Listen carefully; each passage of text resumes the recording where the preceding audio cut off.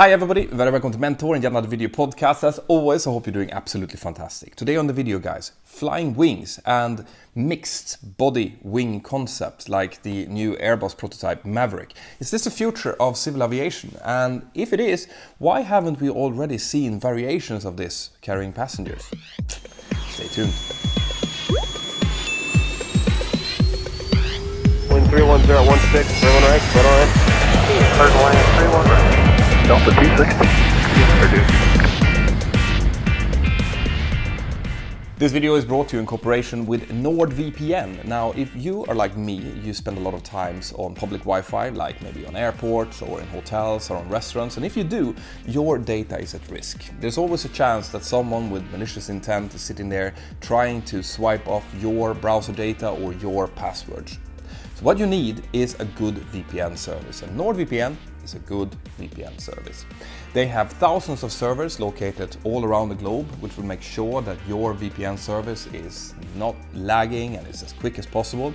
And if you use it, you will have up to six devices that you can use on a single login. So you can use your smart TV, your uh, iPhone, your laptop on the same login. Now, if you're quick and you use this link here below, which is nordvpn.org slash pilot, or the uh, coupon code pilot, you will get a whopping 7% off the normal fee of NordVPN and you'll get one month for free. And if you're really quick, you might be able to catch their birthday deal, which is when you sign up to a three year plan, they will gift you either one month, one year or three years for free when you sign up. So check it out.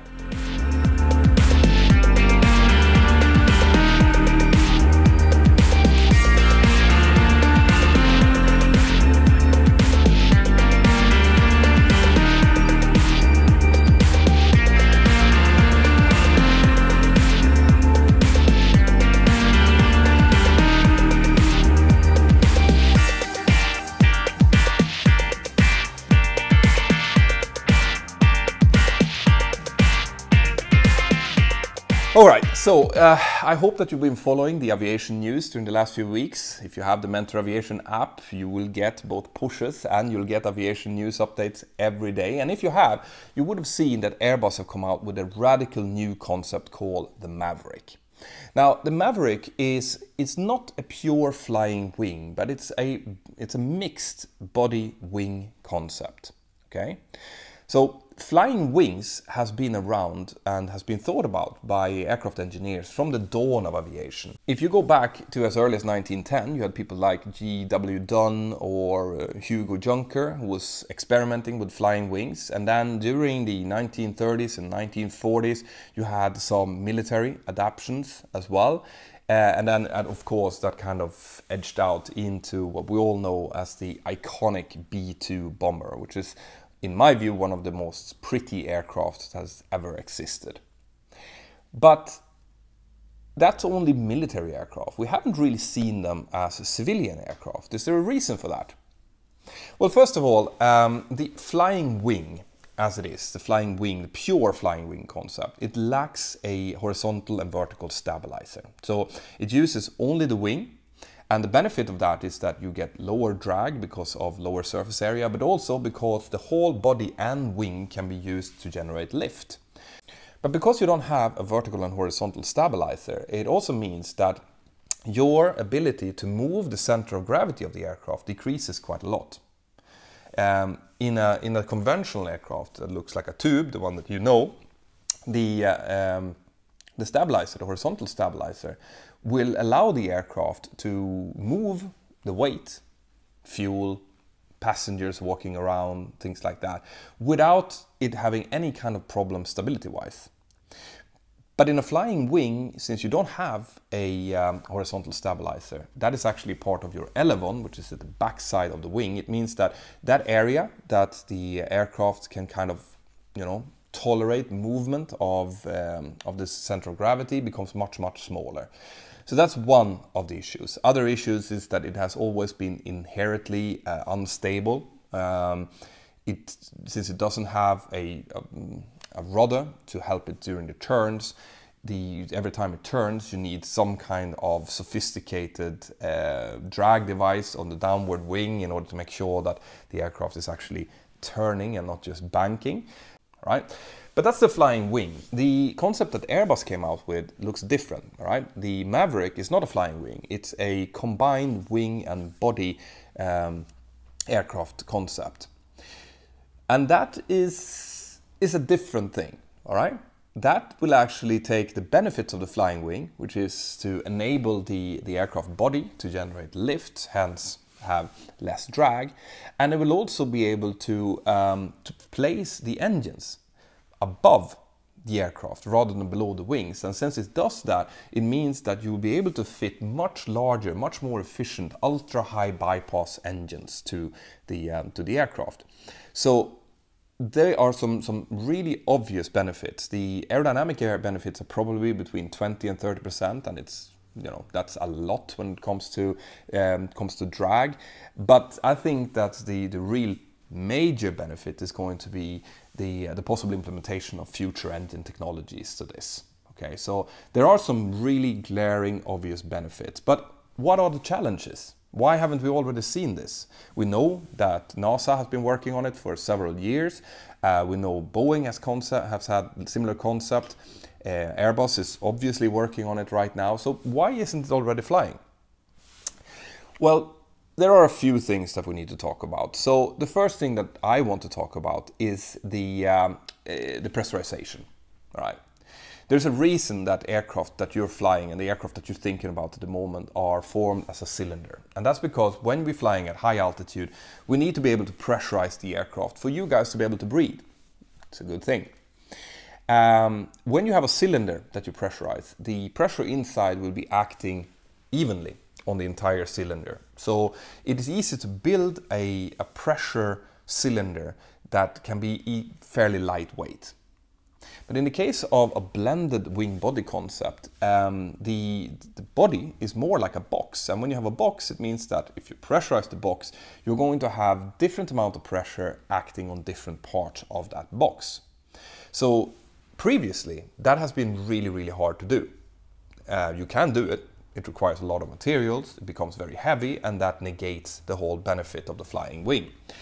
But now, with the onset of new types of materials, composites, fiberglass, things like that, uh, it is now possible to build a box that can withstand the differential pressures that we need in order to, to fly at the altitudes of maybe 40, 45,000 feet.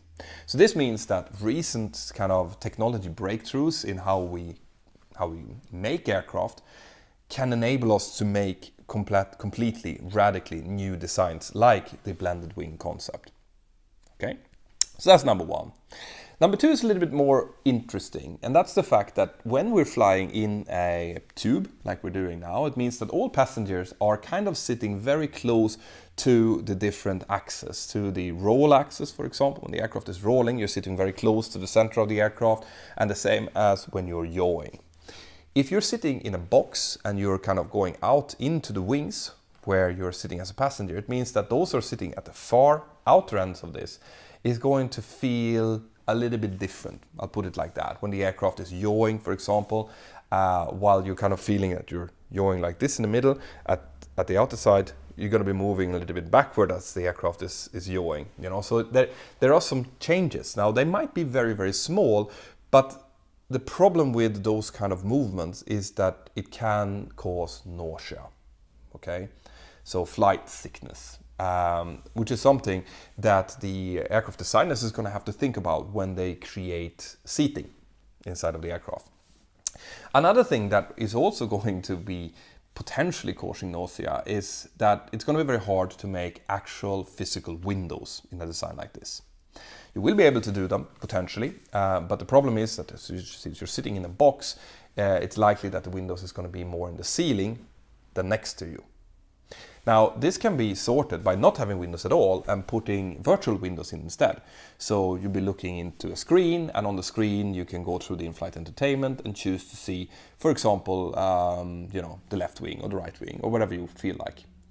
Now, this is possible to do but it requires that there is a very, very good video feed, right? There cannot be any lag in the time it takes for, for the aircraft to start turning and to you seeing it on the screen. And the reason for that is that the brain will feel that you're moving. And if you're watching something, if you're watching like your own wing and your body, your brain is interpreting that as you seeing the wing, if the wing starts turning or moving without the, the video feed doing this, and we're talking milliseconds here, there will be a disconnect and you the brain will interpret that into nausea. That's this is the problem with early adaptations of virtual reality headsets for example. And even in the flight simulators that we use when we're taxiing on the ground there is just a slight delay in the movement and what you see. And anytime that happens you can become instantly nauseous right? So this is going to be an issue but there are easy and technical solutions to that. All right Right. So next thing is going to be um, to adapt existing infrastructure. And what I mean by that is taxiways, runways, but especially loading, unloading, and things like airway, um, like air bridges, for example. So um, the, the way that the blended wing body concept has been presented is that it looks like it's going to be easily inside of the 80 meter box that you need to have, for example, the, the 777X is inside that, the 747 and the Airbus 380, which is the maximum size of aircraft that you can use on taxiways. Right? So it looks like that's not going to be an issue. What's going to be more interesting is how to adapt, for example, the air bridges. Since you're not uh, connecting the air bridge onto the side of a cylinder, you're now kind of attaching it to the front of a wing uh, or potentially uh, from, from below.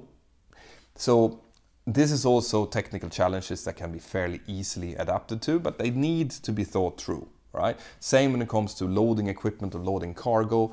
Um, all of that is something that's going to have to be made in the beginning only for these type of aircraft, and that will come with a significant cost. So it is something that they have to think about. When we're on the subject of entering and exiting the aircraft, we also have to think about things like emergency exits. So today and tomorrow, when this uh, aircraft is going to be available to us, the rule states that you need to be able to evacuate the aircraft completely using half of the available exits uh, in less than 90 seconds. So these new uh, flying wings or blended wing body concepts need to adhere to that as well. So this means that instead of having um, emergency exits along a tube, like we're used to now. It's likely going to be emergency exits maybe in the floor, maybe towards the front, maybe towards the, the top. But uh, they still need to be able to do this using half of the available emergency exits. And since the passengers are now sitting spread out, that might actually become easier depending on how the emergency exits are being construed. But it's definitely, you know, all of these are new ways of thinking about flying an aircraft. We've been doing it the same way for a hundred years now. And uh, this is going to be a new way of looking at it, which doesn't mean that it's going to be a worse you know situation it just means that we need to readapt the current rules and regulations and infrastructure to suit this new type of aircraft right but it also comes with significant benefits. Not only the, the fact that it will be more efficient, which we do need now, the, the, like the aviation industry needs to look at the uh, environmental impacts that we have. Obviously, it's going to be much cheaper for the, um, the airlines to drive the aircraft if they're you know, more fuel efficient. But also you'll have the, the possibilities to rearrange seating, for example. So in a, in a box concept like this, uh, you could, for example, have a... Um, you could have seats hanging from the from the uh, from the ceiling as well as sitting on the floor which means that you could potentially seat more passengers or even have it so that the passengers could create flatbeds or almost flatbeds even if you're in an economy seating which would be very very cool right uh, I've seen some concepts of that, which looks amazing to say the least. But I think the single major benefit, the single biggest benefit here, is probably going to be the fact that with this concept, you can start to put the engines on top of the aircraft. This means that you'll be able to create much bigger engines, ultra high bypass engines will be able to be fitted and the uh, the ground clearance is not going to be an issue. You know, having the engines under the wings. Now they're sitting at the back as part of the um, of the vertical stabilizers. And with that, we will be able to really fully utilize new engine technology, which we will have to do right? New engines are going to have to come, they're going to have to be radically more efficient than the ones we have now. And the current aircraft design does not really allow for much of that. So new design is needed. So will we see this then? I think the answer to that is yes. I think that within the next 15 to 20 years, we will start to see some type of this concept coming out.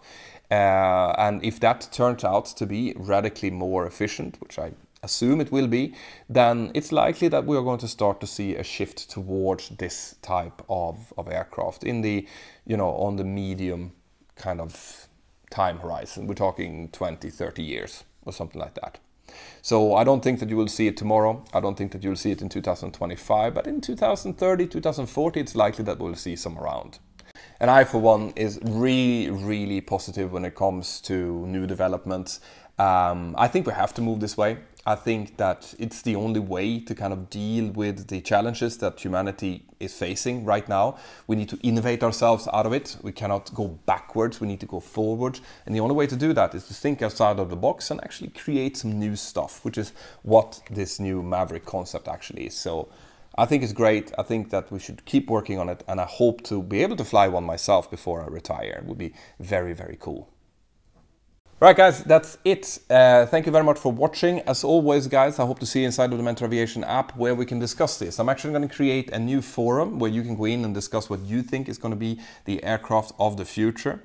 So come inside of the app, it's completely free to download. You have the link to download the app down here and you can participate in the forums where we discuss different technical stuff and different things about aviation or flight training. Or you can just come into the chat and talk to me and hang out and talk about regular things with aviation enthusiasts, people who are afraid of flying and, and professional pilots like myself. Or you can get yourself a, um, a collection where you can get up to two hours of me instructing you how to fly the 737, things like engine failures after takeoff, how to set up the 737 from when it's black until it is ready to taxi, and many, many more things. So see you inside of the Mentour Aviation app. Have an absolutely fantastic day, and I'll see you next time. Bye-bye.